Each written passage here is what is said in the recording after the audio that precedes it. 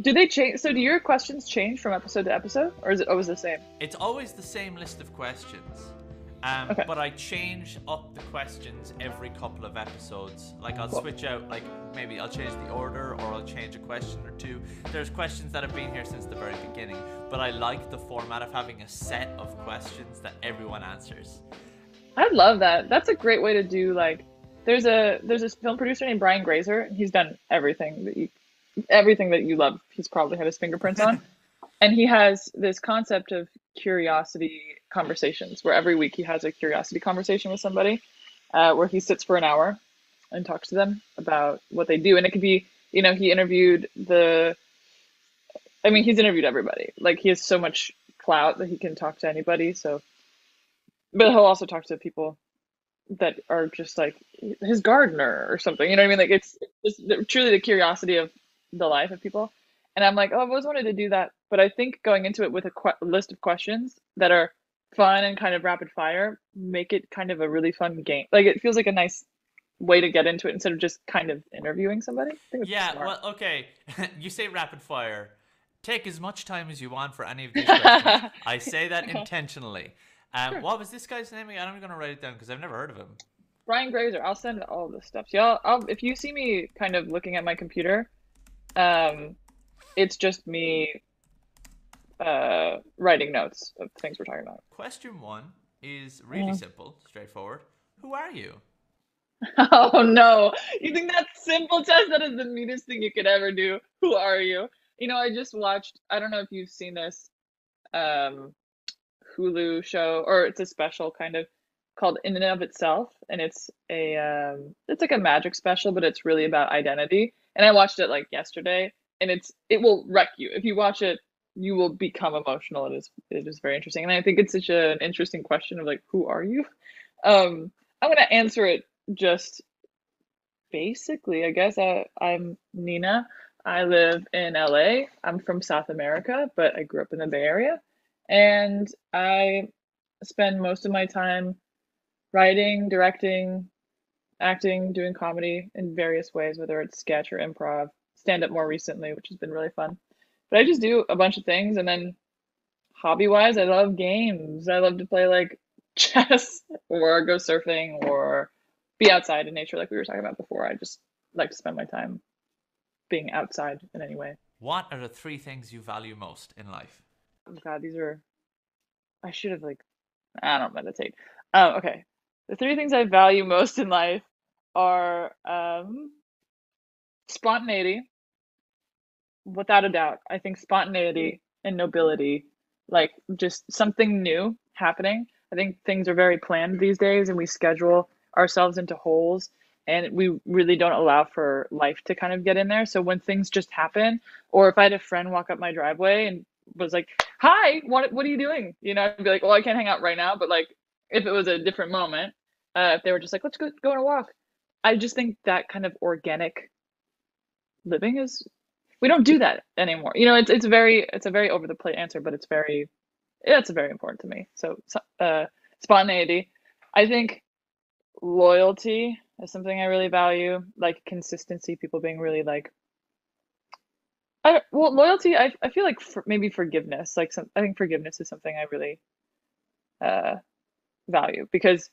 we're like I don't. We're also in an era where there's a lot of shifting and changing that's happening. That's really important. We're also getting into a space where we don't really uh, allow the room for people to grow or understand, or we're also expected to know everything because we have the internet. And I think there is a lacking of the gray area. So that's another thing I value. And then I really value like um I like want to do like a more fun answer. I'm like all I can think about is ginger tea. Like that is that's like another thing that I'm like I really value. I drink it like three times a day. It keeps me very I don't know, like I'm like thinking of that Vogue question where they're like, what are the essentials or the things you can't live without? And that is just I think one of the things I can't live without. I'm gonna eat myself alive later when I remember something more poetic or important. But for whatever reason, ginger tea is just like you gotta mention me. You Yogi ginger tea, like you have to bring me up in this conversation. So yeah, I don't know why. What about you? What are your three? So just just to say, most people do that. Where I think it's just the LA comedy training, where it's like, okay, two good Mm-hmm. things, and then the, the rule of three has to be have to say something. So it's usually like food or like you know Christmas or like you know. th- Yeah, yeah, yeah. um, for me, yeah. So this was the very first question I ever came up with for this show. Great Um, question.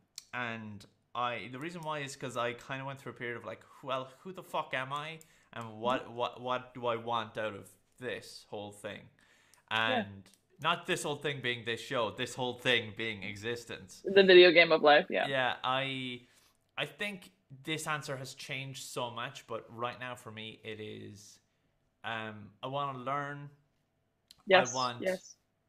to be kind like kindness is um, curiosity and kindness those are my like two big things but Kindness, also if i had to pick a third it is connection those Yes. are my three like because they all come into what i do Every, yeah. yeah. Yeah. Like everything I do in my life, if I can be kind to someone, if I can help someone, if I can say just something that will make the brighter. Like today, for example, I was on a mad one today. I don't know what was up with me. I went for a walk and I was like, I came across a lady with a dog. I was like, your dog is super cool. And then later on, I came across a guy with a Rick and Morty t-shirt, and I was like, "Your t-shirt's fucking cool." And I was like, living in some sort of anime protagonist world. and um, but you know what? Uh, it, for me, it was just a day where I was able to appreciate things, and so all of those things combined: curiosity, kindness, and connection. Those would be my three. I think those are great because they also overlap into different things. Where like I think with connection, I think of food, where I'm like, oh, when you have a dinner with somebody and that like feeling of connection, or if it's you feel connected to playing a game like Last of Us and you you know see yourself in it, or you see a theme of something you're going through. Like connection is a is a really big one. Learning too, but maybe that overlaps into forgiveness. I think like that's the point. Is like just yeah, learning while we're here because there's so much to un- try to understand, and no one knows what they're doing. So I, I'm I'm with you on all of those. Those are great, great answers. Question three is: Tell me a memory that shaped you. Oh man, I mean, I don't know why, but well, the first memory that comes up, I'll probably just do that because it's coming up. But um, and I have a horrid memory, but I, when I was about eight years old, was at a soccer practice, and and it was a really hot day, and I had a girl on my team. Her name was Gabby, um, and we were in line doing a drill. Yeah, I must have been eight. I must have been eight, and out of nowhere, out of nowhere, she projectile vomits next to me, just like, like really unnerving, and it wrecked me for years, like years and years and years. Um, I had this chronic phobia where I couldn't sleep, I couldn't go to like school. I developed this like crazy sixth sense where I can like sincere. I was on a plane yeah, two days ago, flying back from New York, and in front of me, I could tell that the person in front of me was getting motion sickness, and I just like shut down. But what's crazy, and it's actually um the timing on this memory coming up is interesting because I had for like 10 years this chronic phobia, and every winter for me, flu season was a pandemic. It felt like a, a pandemic, and I would like not go out, and it's affected things like when I would do scenes in college for improv in Chicago. In the winter, I would only breathe through my nose, so I was a slower player. But in the summer, I didn't care, so I would like talk more on stage.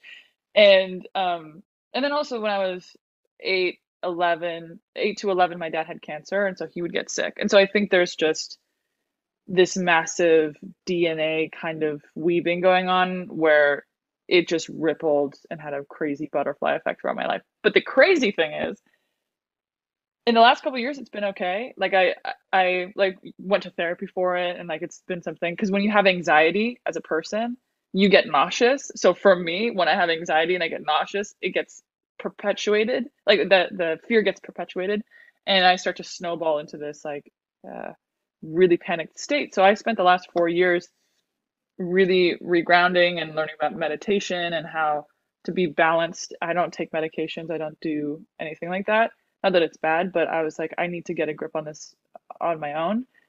And um, the craziest thing is in the last couple of years, like I don't really think about it that much, but um, the pandemic happened and I it did not scare me at all. Uh, like this whole time I've been like, can we go? And obviously I stayed inside and I we all do our part, but like it, it didn't scare me at all. And it still doesn't. Where I'm like, for some reason I feel like I've been in training for the last like 10 years. And the day I arrived and I'm like, oh, so now you guys don't want to share drinks and now you guys like want to put up like protectors when it was my idea. I was crazy.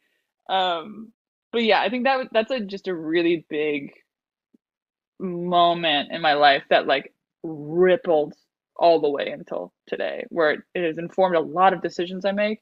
It informs like, yeah, I don't know, but it's weird with the pandemic because I'm really not scared of it at all, and I should be horrified, but I'm I'm not at all. Question five is tell me in as much detail as you can about something you knew of which once existed and now does not.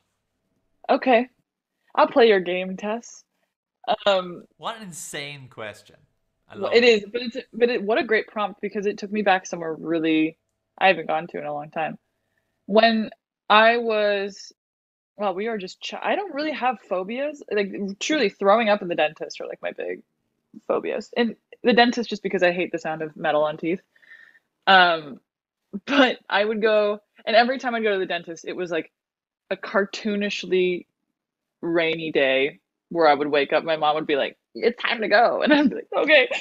And I am very prone to having cavities. There's just something about the divots in my teeth. I brush and floss. I take very good care of my teeth, but regardless, I'm kind of just in a rough position and I get cavities.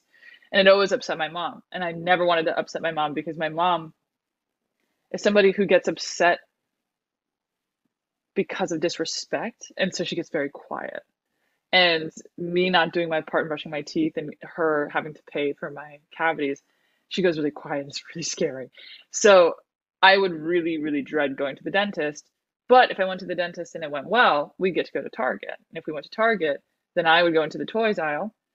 And i became obsessed with kind of fascinated by these things called tech deck dudes. And a tech deck dude like tech decks i'm sure you know right? Like the little finger skateboards. But these tech deck dudes were these little toys and they had different personalities, right? It's almost it was kind of like avatar building before Club Penguin or, you know, Sims, where you collect them. They'd have different personalities, different jobs, things like that. This is my version of Barbie. And what they were were thumbs. Like they were just thumbs wearing clothes on skateboards with like magnets on their feet.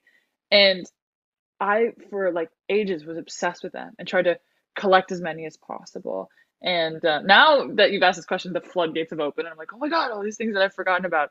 But those were like they made me feel high. Like buying them, I or going and getting them made me feel high because I was like, I don't have cavities, which is like already I'm like in the clear, and I feel like the serotonin cranking through my system.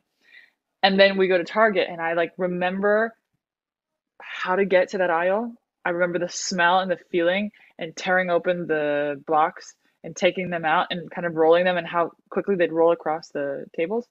And what was cool is they were magnets, so I could put them in random places in my house. And it became this game that my mom and I would play where we would move them. And now we do it with a little tiny Spider Man, like just a Spider Man figurine, where when I go home, I'll find it and then put it somewhere else. And it's just kind of like a constant like kind of like a group chat, but it's just Spider-Man moving in different parts of the house.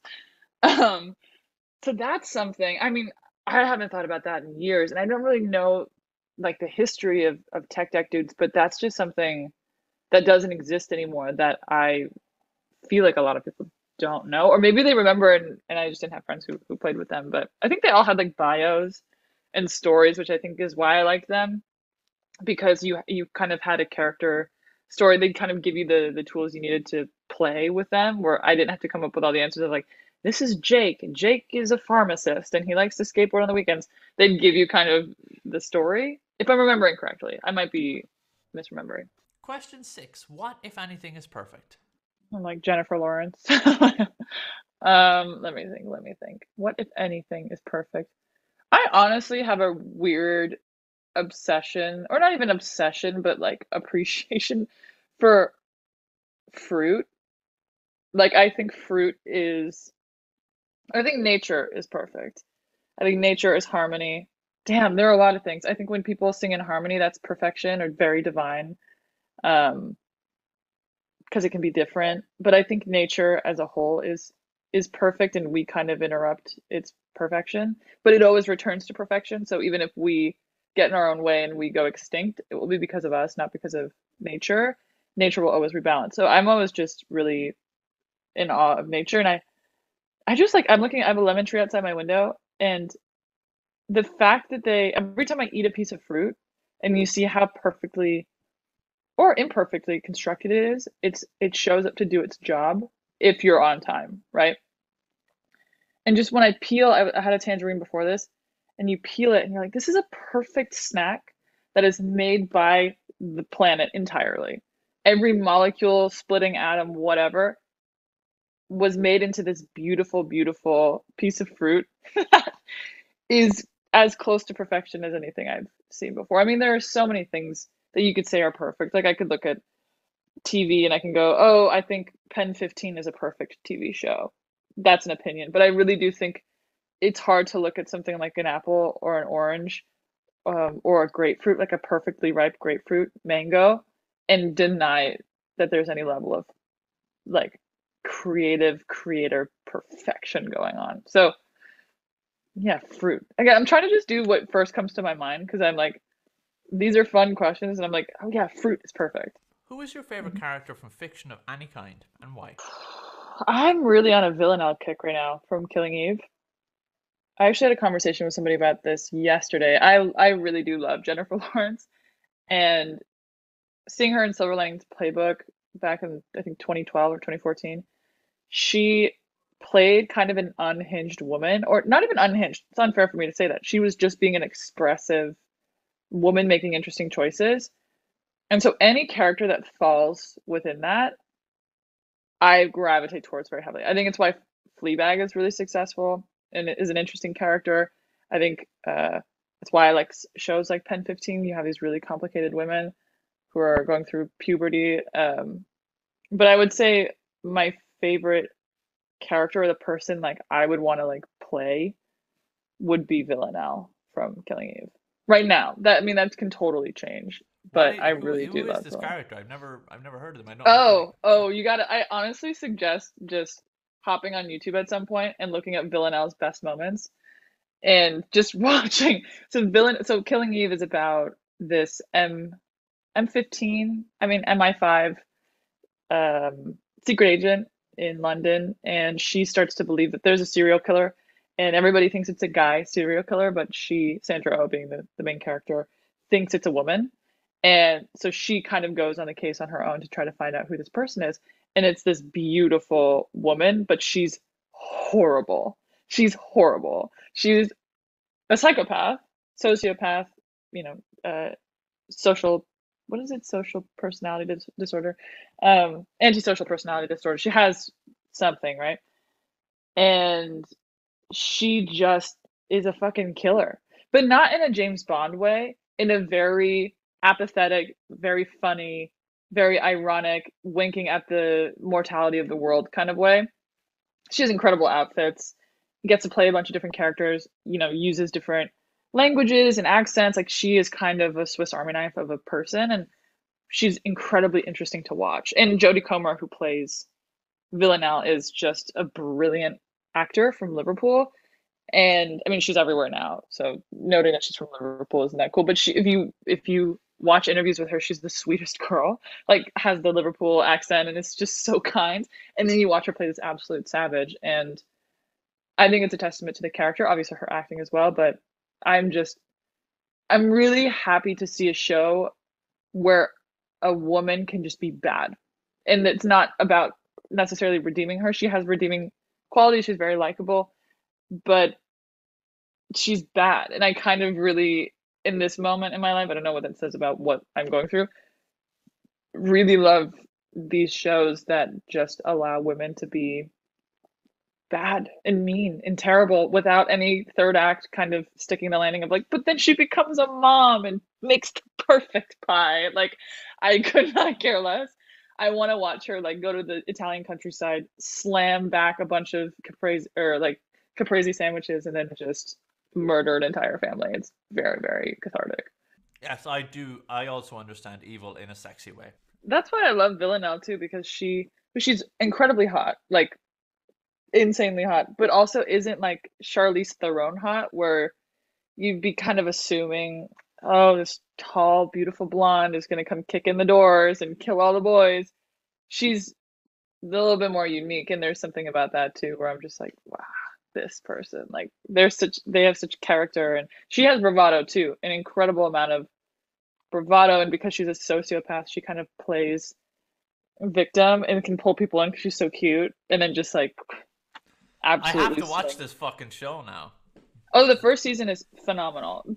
Beyond the first season, I don't want to be discouraging, but it's not great.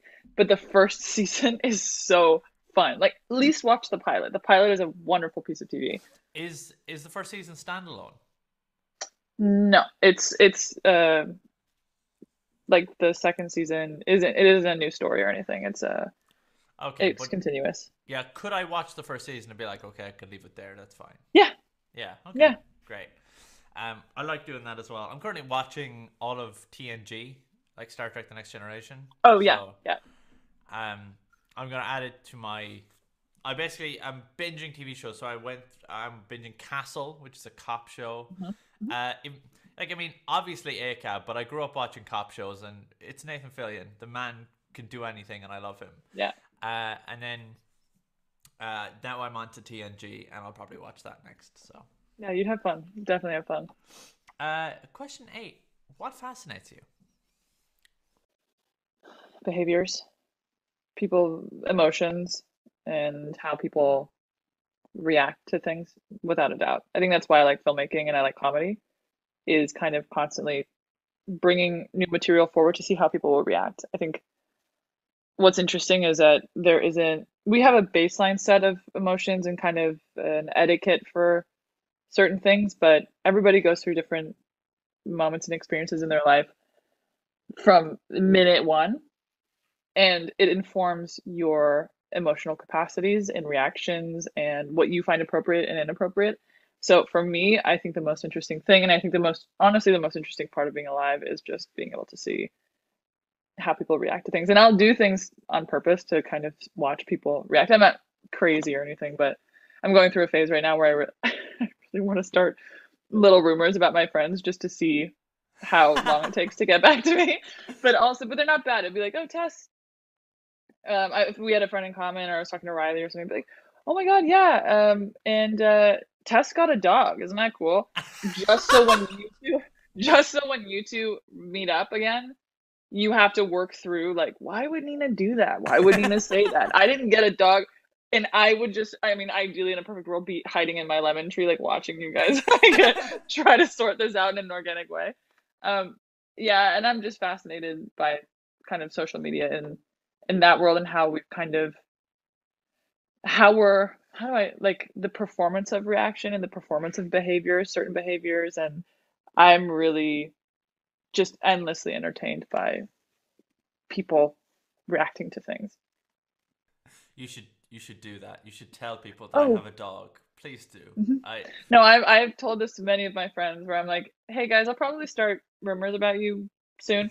And if it gets back to you, it will probably get back to you and they will tell you that I told you. Let me know one, how long it takes, and two, what happens and how you guys work through it. it's just fun. I think it's just fun. Like I love little chaos. Like everybody's very careful now and very connected and everyone has all this information that I'm like, what information can I like pepper in to again to to question one with values, kind of interject some serendipity and um, a break in the kind of monotony of our performance of being a person. So question nine is what piece of media should everyone consume? I, again, what's gonna kill me is I'm gonna give you an answer, and then later today, I'm going to remember my answer and and remember something else, and it's gonna kill me. I mean, God, there's so many things. I mean, I really one of my favorite stand-up specials is Bo Burnham's Make Happy, and I think it's a beautiful. I mean, he's this. He is honestly the one per it, the if somebody had like the dinner dinner party question where it's like if you could sit down and talk to anybody, I think he would be my answer. Um, Make Happy is just an incredible like meditation on self at this point in history and in comedy and, and I connect to it because of like I we do very similar things. Um, and that one I just like really I personally connect to. But then there's like there's a movie called Wild Tales. It's phenomenal from Argentina. That every time I send it to somebody and they watch it, they're like, "How does nobody know about this movie?" Um, but I honestly, one piece of media right now, the first thing that came to mind, and maybe because of where I'm at emotionally right now, this song just it's always been one of my favorite songs of all time. I think it's a perfect song, and the the lyrics are just really hitting for me right now. And and whenever I kind of feel stressed out about time or where I'm at or you know, who I am, I listen to this song. It's like so white girl of me, but like John Mayer has a song called "Stop This Train," and I think that song just recently has been really, really, really but my whole life like my whole life i've had this song my conscious life i've had this song. And it never gets old. It comes on. It makes me feel elated or sad or happy. It's just a very melancholy kind of look at time passing and, and how badly he wants to stop the proverbial train to stop and his conversation with his dad about what it means to have time pass and it's just I don't know. Maybe with COVID too, it's hitting a little harder with time passing and kind of making peace with that. But I think maybe right now my that would be my answer is is that song. If you could name a hot sauce, what would you call it? I would call it. I'd call it Zuzazu hot sauce. Why?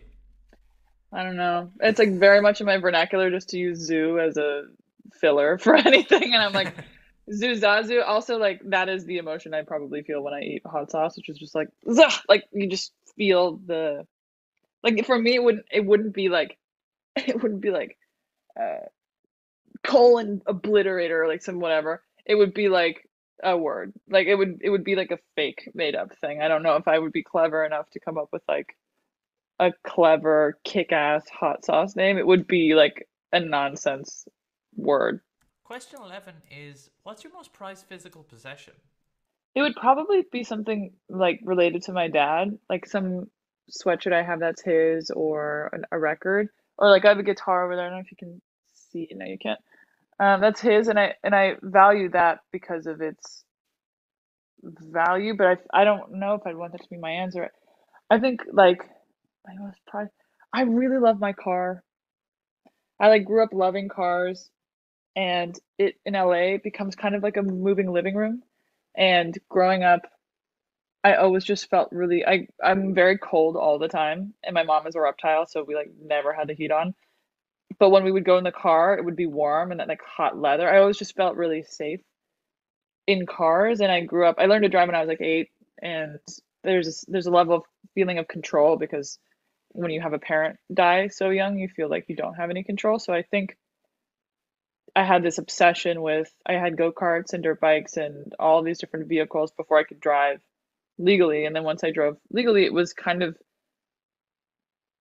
felt like my space for the first time that I owned and nobody else could have. I, I'd say maybe my most prized physical possession would be my apartment because it, it feels like my home. But if something happened to my apartment, like I, my car just, I love it because I love driving. I love the the safety of, of being in a car. I love the I love my actual car, the type of car. Like I bought a nice car because I like the way it moves and I appreciate the the craftsmanship around it. And um yeah, just when I leave a party or I leave a, hang or you know, being with people, I really find a lot of solace and peace being in my car. Um, it's a very LA thing. It's one thing when I was in London. I love public transportation. It makes life much easier to move around. But I ached, like physically ached to have my car back. And so once I got back, all I did was just drive around in my car. What inspires you? Um, curiosity. I mean, like, like, I think, I think what inspires me, well, Hmm. I immediately think of work, like what inspires my work. And I would honestly, I'd say witnessing people connect with other people is really inspiring and kind of observing how they do that.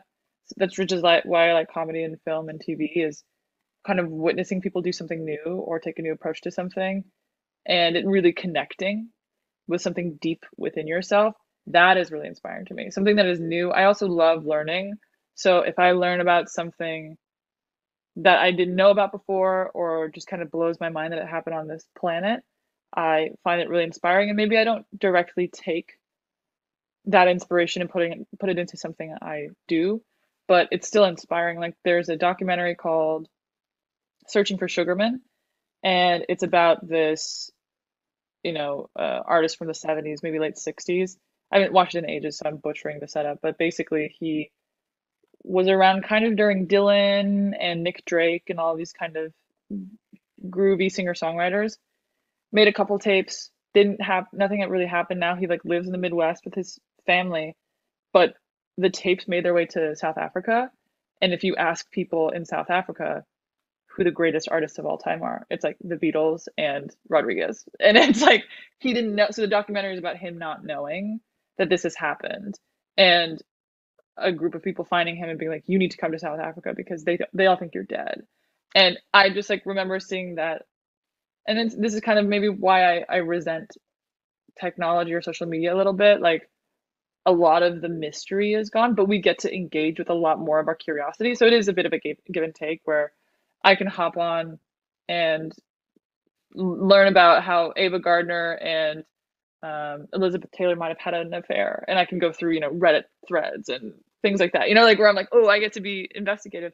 But I think the journey to find that information is gotten is a little easier. Where where I was like, I'm really inspired when somebody tells me something I didn't know before. That really is inspiring to me. Or I see a comedian that gives a perspective on something maybe I do every day that I've never considered maybe other people did. Um, that kind of recognition in in work. Um, so it's a kind of a gray area answer or like a blurry answer, but really I just think it's um, su- surprising in new ways to to tell stories or connect with people is always going to be the thing that really really inspires me. Fuck yeah. Same. It's totally Yeah. the same thing. Like I doing this show has made me realize that a dream that I thought I couldn't get to is actually a thing that I could possibly do. Like mm-hmm. so I when I was a kid I wanted to be an actor so bad. It was the only thing I ever mm-hmm. wanted. Um mm-hmm. and it wasn't because I wanted again to be famous. I didn't really like people looking at me. It was just I like playing characters and I like I, like that's why I love D&D and and like Yep. Ah, but I did a play when I was in like fourth year. I fourth year doesn't mean anything. Uh, like sixteen, and Yeah, sure. I was assigned a role in this play, which made me feel like I was a bad actor, and that killed the dream for me. It was That like, yeah, and so I because there was a person in the play who was like given a good role, like a role that I think I would have been really good at, and they did really well. And obviously, it was like, and it wasn't a sense of jealousy because I didn't give it a shit, but I was like, I would have done better. Like I would have done better if I was in that role, and he would have done better if he was in this role. Um, but doing this show and connecting with people and people going, no, you should, you should do it. Like you should be an actor. Um, but I I don't even know how where I would even begin. But the fact that the fire is still there, that I can look into Yep. myself and be like, oh, it's still there. I still want to pretend to be someone else for Yeah. having a shoot is uh, is deeply inspiring to me. And just I think the thing that inspires me is belief and encouragement. That people are like, Yep. you can just fucking do it. Permission. There you go. There's the Mhm. there's the word I was looking for. So permission. It is it is weird that we seek permission. I had a conversation yesterday about how some of the things I'm doing right now I don't really like, and I kind of feel like I've been put into a social role to do. Whereas I'm an actor, I'm like you, where I resonate with what you're saying very heavily. Where I'm an actor, but I've been pushed into other directions because they were safer or might help me get to acting in a different way. But I might end up just doing something I don't want to do, and every time I really go back to it, it's always perf like what's really inspiring to me is like performance or I think about like what my favorite parts of directing or acting is, and it's always talking about characters and why they do the things they do, and then inhibiting and like are inhabiting those people and their psyche and and I don't know. I just think it's it's really, really, really, really, really inspiring. Did you ever have an epiphany? If so, what was it about? Oof. I've got a whole document here. Let's see. Do you? Yeah, I have a lessons document on my desktop. Um, oh man, we have our choice today. Epiphany, an epiphany. Well, yeah, it depends. Like, um, like I even saw. Okay, so like the most recent ones are a lot about Stoicism. Like I've been really into the classics recently, so I've been reading a lot of like Marcus Aurelius and Seneca. Um, Epicurism is really interesting to me. Like these kind of meditations on life are really interesting to me, and, and just the pure basics. But epiphanies, and is by your definition, is an epiphany something you have to have, or is it something you connect to? It's up to you. I don't have a definition of epiphany. I, like I don't like having a box for these questions. So it's however wha- whatever way people interpret them. Mm. Uh, because it all th- there is enjoyment in the answer too of an- the process of answering. So whatever brings Yeah. you, whatever Marie Kondo sparks. Uh, something an epiphany, an epiphany, an epiphany. Also, if if it isn't too personal, can I also see your your your lessons document at some point? Oh, sure. I mean, I can. I mean, I you can include or not include these. I can tell you a couple of them, but I'm trying to think. So the first one is is a lesson that's about like burning out friendships by going too hard too quickly. So like when you meet somebody that you're like, oh my God, we really connect, and you kind of fall into that trap of like, yeah, we're gonna like hang out all the time, and it's I can't wait to be friends with this person, and I, and I told them about this trauma and this trauma, and and then it's just like awkward after that because you're like, where do we go from here? Like you kind of blow your load a little bit.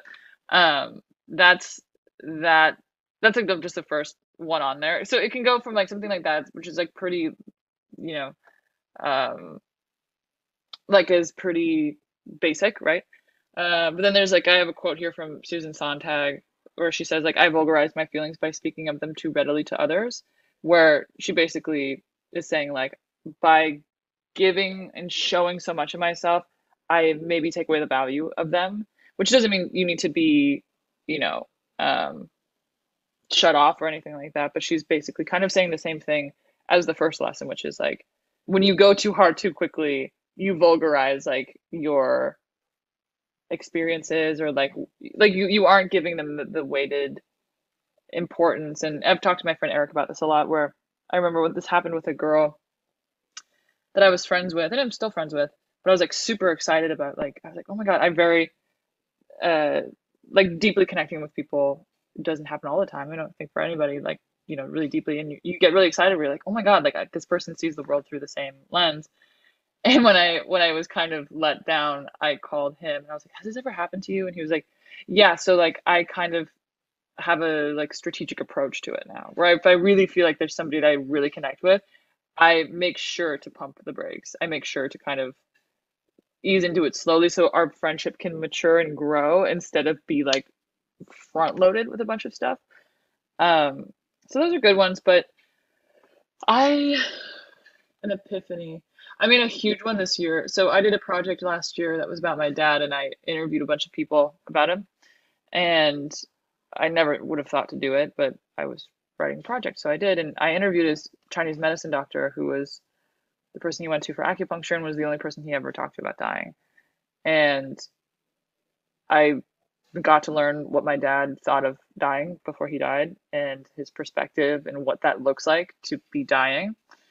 And one of the things he talked about that really shook me to my core and, and changed a lot of my worldview and also the way I value things and value people and also the experience of being alive. Like I'm constantly thinking about not mortality in a scary way, but just in a thrilling way of how extraordinary and extraordinary being like out of the ordinary it is that we are here and how silly it can be that we take things so seriously, even though it's okay to take things seriously. Absolutely, I take things very seriously. But at the end of the day, you can really, if you can really connect to the idea that like you leave with nothing, like it really is you leave. Um, and who knows what happens after. It is super, super. It's a very like Buddhist thing too. Um, Stoicism, Buddhism. There's a lot of overlap, but that's been really nice. But so my dad basically one of the things he said before dying was that he finally understood and that he wished that he felt more. And not because he was a closed off guy, he was incredibly warm, very loving, very uh, an, an amazing person. And what he meant was, you know, it didn't mean that he was in love with someone else and he wished he told them or anything like that. He was just like, I now know at the end of my life, I can handle any emotion. If I had gone through divorce, I could have handled that. If I had lost somebody close to me, I could have could have handled that. But I like like him looking back on his experience. He's like, I've up until this point, I I could handle anything that has come my way. What you can't handle is the cancer that invades your body or the car that hits you when you cross the street. But you can handle the things that come your way emotionally. And he was just like, I wish I got to feel more because now I don't get to play anymore. And now that I know that this is the truth, I don't get to play. And that kills me because now that I know that you leave with nothing except for your experiences, and when you're dying, you really only have the things that have happened to you to kind of keep you company. He's like, I wish I just threw wrenches more, just, you know, told people how I felt, uh, which is a very, you know, kind of people say that at the end of their lives. But I love the way he articulated it with, I could survive any emotion. So why wouldn't I go and try to do everything? Why would I be safe all the time? Being safe is great.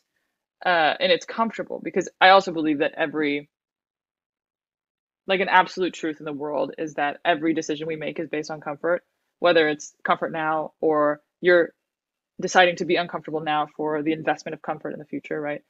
And I'm just like, whoa, I don't know that talking to somebody about your dad thought about dying and hearing that, especially as somebody who really likes control and isn't super emotional, isn't very um like I'm very logical. it's all a product of losing a parent young, where you're like, oh shit, I need to like be in control, set me free in a way that I had never known to be possible. So I think that would be like the in the last year the biggest epiphany for me. What emotion has taught you the most?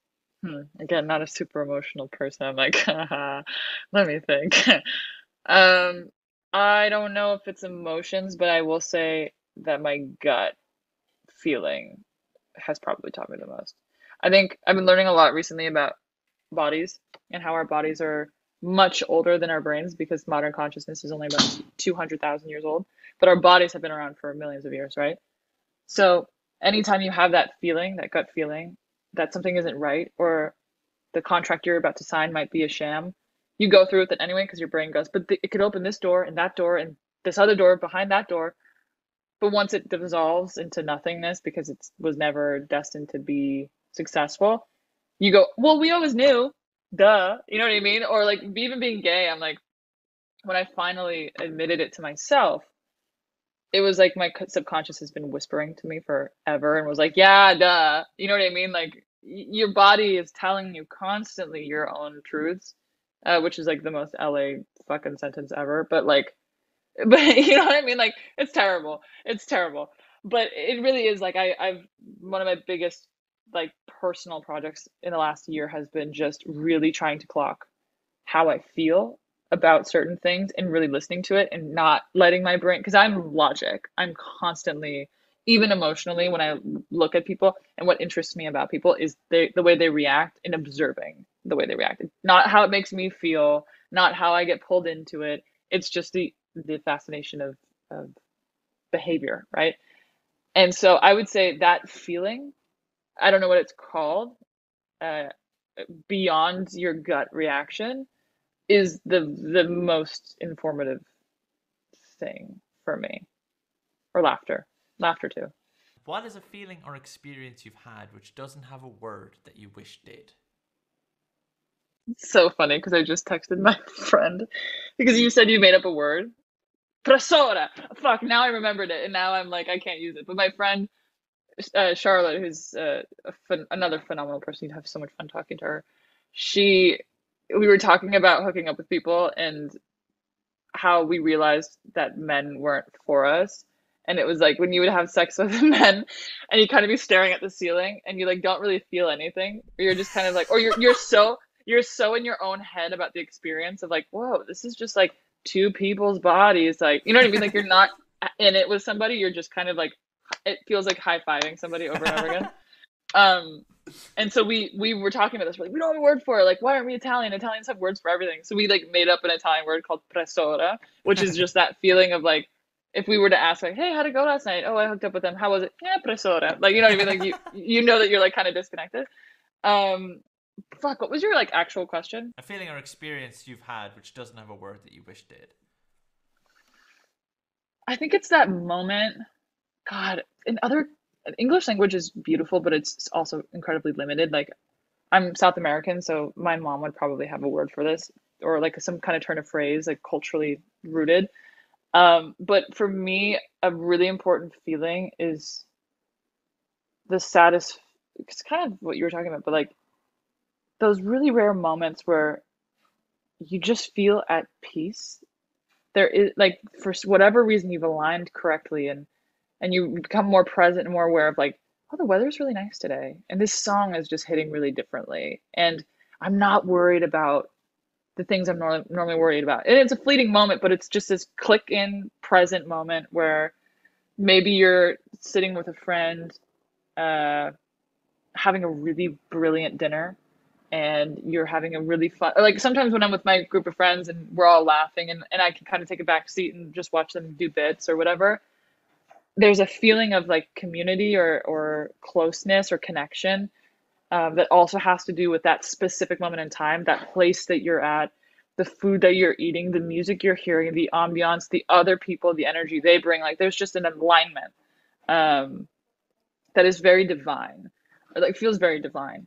Um, and not, and I didn't grow up religious by any means, but this idea of divinity or something being divine has been really interesting to me, and and and I don't have a word for what that is, but you know it, like you know, it's like that something clicks, and you're like, oh, this is perfect. This is a perfect moment. Um, but yeah, I don't know. I don't know what I would even call that. It's almost like holistic, like a holistic appreciation. Like everything, Yeah. everything just works just a little bit better than it usually does. Mhm. Yeah, and you're not beating yourself up. Like there's something within yourself too that isn't like immediately critical or it, you know, like you feel good in your skin in your body too in that moment where you're like everything is just serene. The question 18 is what makes you smile? What makes me smile? Oh my God, so many things. Like I don't know, we're all programmed to kind of like smile on cue, right? But I think something that makes me sincerely smile is when you get a good belly laugh. Like somebody makes you really like it strikes you hard. Like I'll laugh at a lot of things and things make me laugh, but when something really hits within yourself and you smile and you laugh, that that is a pretty great way to get to a pretty organic laugh or smile. Because I don't know, in LA you're kind of cardboard cutout of yourself constantly where you're like, I'm fine, I'm good, I'm happy, and you're always smiling. Um, but like if you yeah, it is. It is. And then you should like I'm like if anybody moves to LA, if anybody listens to this and wants to move to LA, move to LA for two years, leave for six months, then come back, then it becomes amazing. It becomes amazing. You start to appreciate all the things that you didn't maybe appreciate before, and you become kind of a journalist to the experience because it is a very particular place to live. But even knowing these things of like, yes, you have to kind of be a certain way, or you feel you have to be a certain way. Um, even just removing yourself from that and knowing like okay i can do that for people if i have to but behind that cardboard cutout of myself is like a person who knows himself well.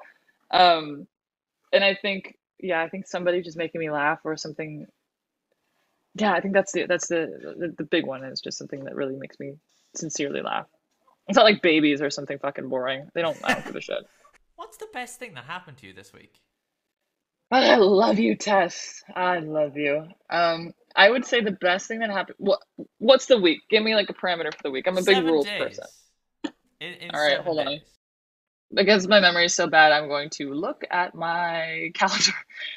Um, I had so many great things happen this week. I think maybe thematically, uh, New York was really fun, but I think the best thing that happened to this week to me this week was coming home. I kind of a crazy story, but when I was leaving for London, I had to to give up an apartment that meant everything to me. I've again, it was the first place I've ever felt like was mine and no one could take it away. It felt really safe and um, and I saw myself living there for a long time. But this opportunity to go to London and kind of change my COVID situation came up, and I was like, I would be a fool not to say yes in accordance to my dad's kind of outlook on the world, right? Like, go live, go see things. Um, so I gave up my apartment, it was really hard. And I got back two weeks ago, maybe, signed a lease on another house, and I had to reach out to my old landlord um, for a recommendation. And she wrote back to me and was like, Hey, Nina, absolutely. Of course, I'll give you a recommendation. By the way, no one ever filled your apartment. If you want to move back in, we'd love to have you back and we'll honor your rent. And I was like, for real? Like, are you kidding? So I moved back in. So the apartment I'm in is the same apartment I was in when I left, but I redid everything. I was like, if I'm coming back, I'm going to do different colors, not the same artwork. I'm going to do different orientations. I'm going to do all these different things to make it feel new. And it was I after traveling for 7 months and being such a creature of like control and wanting my space, like I really value my space. I think the best part of this week was coming back after work cuz it's just been go go go go go and being home for the first time and sitting because it's it's like elevated and as, as um windows all around so it gets great light it gets really warm like that kind of car seat warm feeling. And so I got back from New York and I just like walked into my apartment and the best part of my week was just the relief of like I have my food and I have my routines and I have my clean towels and I have you know what I mean and I am like I love the um the ritual of unpacking things. So when I come home like I loved unpacking. I put on a podcast no one could touch me. Like that is again one of those perfect moments where I'm like, no one can touch me right now. I've got a good podcast on. I've got, you know, things being put back into their order ceremoniously where I'm like, we are restoring order. And I got to be in my place and my really, my, like, this is my home. I like love it so much. So I think that would be the best part of my week.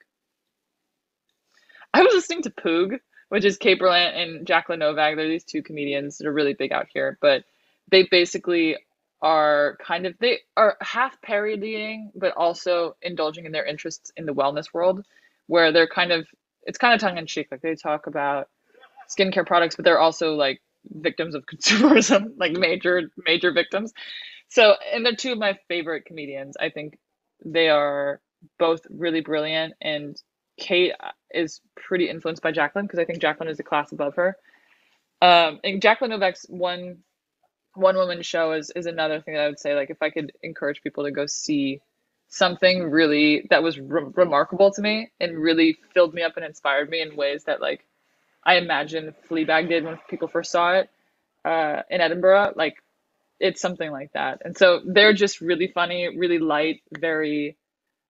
Uh, you just they're lovely. Like they really make me laugh, which I think is. Hard. I don't know why it's harder these days, but it's just like to find things that really surprise me or don't feel recycled or constantly in the like Twitter vernacular or Instagram. Uh, it's just rare, and so they're they're just so unique to themselves that I just was like, oh my god, there's a new episode. I'm gonna put this on, and like just be in bliss for like three hours and go to sleep. It was perfect. Mm, fuck yeah, that's so yeah. good. Uh, question twenty: Would you describe yourself as cute and cuddly? Very, yeah, yeah, yeah. I think I'm well, I'm incredibly cuddly. Like I that is like I mean the best part of sleeping with men was cuddling with them after. You know what I mean? Like it was just it was just like the best the best thing ever. So I would say I'm very uh once I like really get to know somebody, I'm a very like affectionate, touchy person. Um but when it actually comes to like actual like not intimacy, just like sex, but like you become you go from being like a friend in a group setting to like a friend in like a personal setting, I can get a little tighter where I'm like, and it's conditioning from being in groups of girls growing up and being gay and being like, you guys all like hang out and touch, but like it feels weird for me to do that. I don't want you guys to think I'm gay because I'm not. You know what I mean? Um, but it is like it's like very rooted, so I I get kind of can get a little weird. But no, I'm very one. I'm very very cute and very very very very cuddly. So I mean that's a great yeah. that's a great question. Thank you. Uh, that question came from my realization that, like, for the first time in my life, when I started hormones, I felt I felt cute. I'd never felt Yeah. cute before, and I was like, and I became very physically affectionate. I became like I started to Yeah. ache and need hugs, which Yep. I never needed before. Yeah. And uh, so that question came from that, and I'm cute and cuddly as fuck. It's it's Fuck yeah. yeah. Um, twenty. Uh, question twenty-one. Tell me about something you learned recently that amused you. And I, this is the this is a question that I answer every week, as well. Aye, aye, aye, aye. Okay, something I learned. I you know I do this to my friends all the time where I'll I'll if we hang out, I'll be like, you can only come over if you bring something that you've learned, then you have to talk about it. Like I'm like I'm I'm a nightmare. Uh, I give my friends homework, but something I've learned recently. See, this is where my memory fails me. Can you tell me yours first, and then it might Absolutely. Uh, I learned earlier on today, and it's a it's a book that I am going to buy. There's this book called, uh, one second, I wrote it down. Uh, Through the Eyes of the Expert, Okay. or it's also called On Looking, a walker's guide to the art of observation, Mhm. which is just the coolest fucking concept for a book ever. So the concept is that basically this guy takes, uh, or I think it's actually a woman that wrote this book. Uh, not 100% sure though, because uh, uh, Alexandra Horowitz, yeah. So this woman takes a bunch of experts down the same street, 11 experts, and it's like, describe the street, talk about the street. And she takes like, you know, uh, marine biologists and she takes architects and all of these different people. And it's like, what does this street mean to you? The concept of that did things to my brain where I, it, it amused me because I use amusement in the sense of like not just haha brilliant. I use it in the sense No. of like genuine uh, inspiration and Yeah. amusement in a richer, uh, older sense. Captivating. Yeah, and so it, it really, really captivated me. It's difficult to get, but um, I'm gonna see if I can get a copy of it because I have to have to read it. Yeah, that's a the, there's a there's a very Buddhist principle that's very similar. Like when you're training, well, I guess when you're training to become a monk, they make you do the same thing where they make you walk the same path for I think 15 days, and it's a very kind of barren path, but you have to be able to pick something else up that's different than the day before. And I love that kind of stuff where it's like intense presence. I think it's it's very hard to do, but it's very cool. Um, something I learned about. Oh, this is something that I was just like, this is fucking crazy. But JFK, the president who was tragically assassinated, um, apparently, I just don't know how this is true, but apparently after his assassination, someone stole his brain and it's still missing. And that to me is like shocking that the president of the United States, after an assassination, one of the most historical moments in our, at least recent history, his literal brain was stolen and they never recovered it. And I'm like, how do we not talk about this all the time? What? Yeah. And there, people don't know about this either. Watch someone like in the comments be like, "This literally didn't happen. You are following a QAnon thread or something toxic." But no, I I uh, learned about this, and God, I I'm pretty sure it's true. This is like something that like has been around for a long time. But yeah, his brain's missing, like That's pieces of his brain. Yeah, Cool.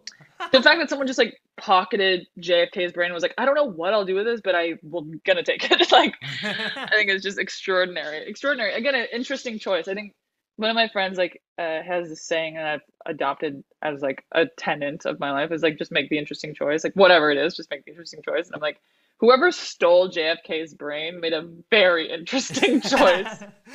well, I like to think maybe they put like googly eyes and a cigar on it, Yeah. like mounted it or something, or pickled it, and I just think, yeah- Absolutely humiliated him. Yeah, it's just absolutely dogging on the president. Fuck Yeah. you, got shot. Yeah, Uh, I'm gonna dunk on you for yeah post mortem or post yeah post mortem, right? Yeah. Yeah, This one yeah, was like cool. after that, yeah. Uh, yeah. Question twenty-three, because I'm mixing things up. If you were on a starship, what position would you hold? I would be I would be like the operator or overseer. Or I would be like community events where I would like organize people's birthdays. oh, interesting. Why? I don't know. I don't want to like be responsible for steering the ship.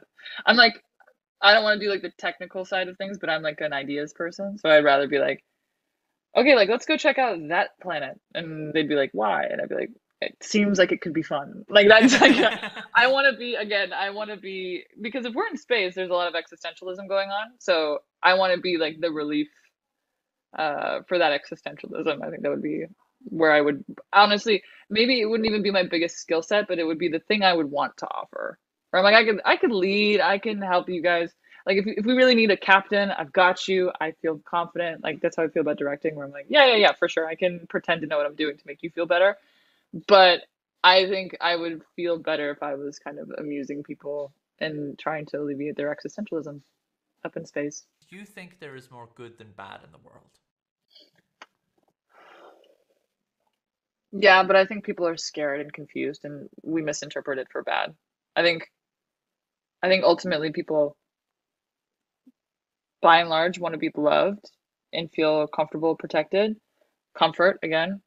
And I think a lot of the harm that is out there or the I mean on large scales, right? Like genocide or if you look at something like Myanmar, um, there's just so much hurt. Or even if you look at the US and um, white nationalism, I, I like see it and I'm like, oh man, these are just people who want to be part of something and just want to be eh, eh, like, of course they are doing insane damage and are being um, incredibly immoral.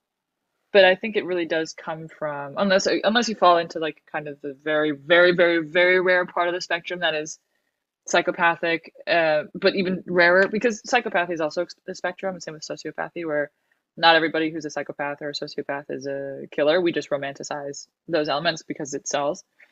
So if you're like even within that spectrum, on the end of that spectrum, and you just happen to be like uh, a purveyor of chaos, I do think people are good, uh, and I do believe that people just want community and understanding and to feel like they aren't so scared to be in a situation where no one knows what they're doing um, which is still shocking to me that we've been human beings on this planet for so long and we still have no idea what we're doing.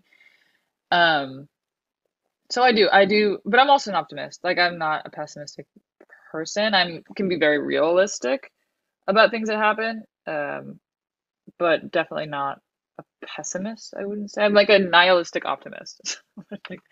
I, think, nothing matters but like that makes everything really fun. Um, whereas you might have somebody who's a, a nihilistic pessimist uh, or a pessimistic nihilist someone like donald trump maybe who is oh my god i haven't said that name in ages. It's like it's refreshing. Uh, yes it's very nice.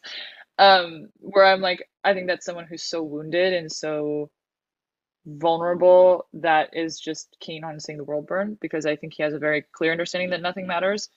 And for him, he's so protected that he can just kind of go crazy. And that's an example of pessimistic nihilism. And I think, I think, and I have to believe that there's better, that there's more good than, than bad in the world. I, I'm not a nihilist. I, I think that thing, I, I, this idea that nothing matters I think is in itself the thing that matters, so I can't be a nihilist. But, but that's but that's the thing about why I love it is like because nothing matters, everything matters. Like everything matters to me, but is coded in this this belief that like at the end of the day, again, not to repeat it for the ninth time, but like you leave with nothing. You leave with yourself. You matter, you know? Um your relationship with yourself really matters but but this there's a freedom to like oh nothing matters so everything matters like treat people with kindness make it as comfortable as possible for everybody here because it's miserably uncomfortable to have a body and be on this planet so how can you like help people? And that makes that gives you meaning and matters i think too. So i agree i agree with you but they're they're the, they're one and the same to me. If you could give just one piece of advice what would that be?